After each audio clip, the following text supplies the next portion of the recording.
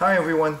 So the storm Ida hit us on the east coast, and firstly, I hope you were able to weather the storm safe and sound. But yeah, the rain was very bad and my basement flooded. Okay, so this is my sump pit on a normal sunny day. I have two pumps. The green one is my main sump pump, and the gray one on top is the backup, which is a water powered pump in case we lose electricity. And after hours of hard rain from Ida, this is what the sump pit looked like. So the two pumps are at this point running non-stop, but the water level isn't dropping. Hindsight thinking, I should have acted earlier as soon as I saw this. But we were looking at it for about half an hour and saw that the water level is creeping up and then I went to the hardware store to get another pump to help it out. But in fact, it was worse than what we thought. Ida was crossing right through where we are and there were some tornadoes developing in the area as well. It took me about 40 minutes more than the usual 20 minute round trip to our nearest Lowe's, and that was all it took for the flooding of our basement. Yeah, so when I came back, there was about an inch of water everywhere. We installed a utility pump and connected it to a garden hose to discharge the water out the basement window. So because the whole basement was flooded, the additional third pump didn't have an obvious effect for a while. Everything was already wet, we didn't have enough time to really move the stuff upstairs, and you know, we also have a one year old to take care of at the same time, so it just made things more and more challenging. By the way, this is the area of our basement that I'm looking to finish and convert into a home gym. And just look at how it got a nice deep bath to start with. Not only the area, but also all the materials. Huh. So it stayed like that for about 2-3 hours and luckily the rain was winding down after that and I could see that the water level is dropping and that things are starting to collect slowly towards the sump pit and the pumps.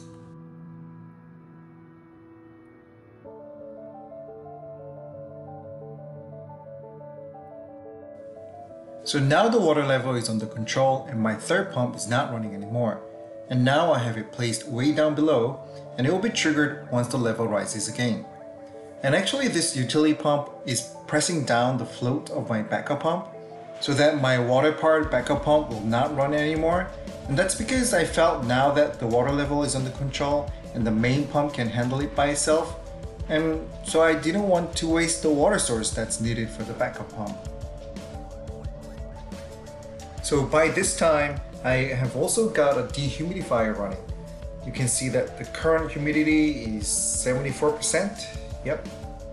And we got a hose for continuous drain down to the sump pit. Now the water level is under total control, but just look at how fast the pit fills up. And that's the sound of my pump running.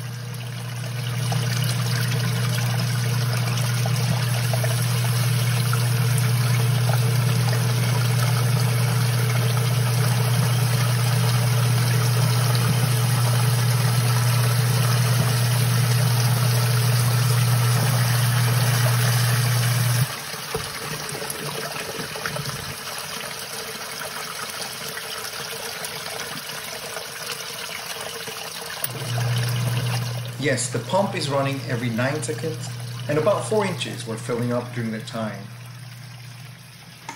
And it looked like the situation is over now and we could finally get some sleep.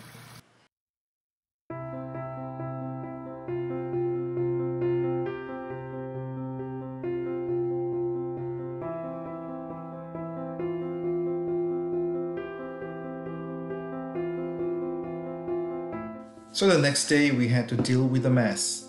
We dropped off our boy to the daycare, take day off from our work, and here's me removing the carpets.